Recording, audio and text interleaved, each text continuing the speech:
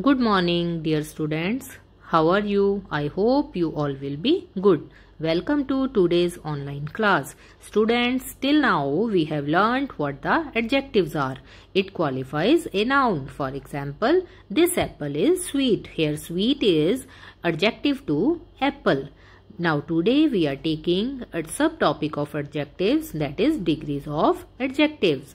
Let's see what it is. When we compare one noun with another, adjective of quality changes its form and it is known as degree of comparison to an adjective. Dear students, there are three degrees of comparison, the positive degree, comparative degree and the superlative degree. Now let's start positive degree. It refers to one person, place or one object without any kind of comparison with other. Let's take an example. Rohan is a tall boy. Here tall is adjective to Rohan without comparison to other. Next is comparative degree. It compares two persons, places or object and ER is used in it.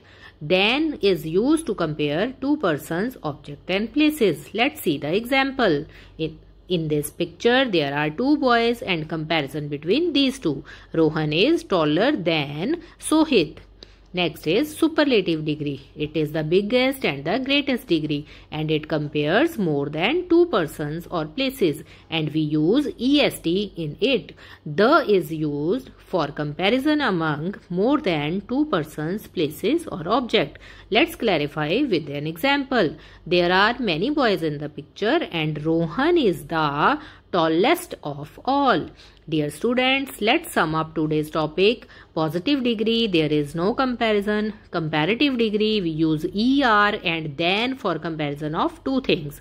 In superlative degree, we use EST and the for comparison of more than two things. Now, dear students, practice these sentences at home. Thank you. Have a nice day.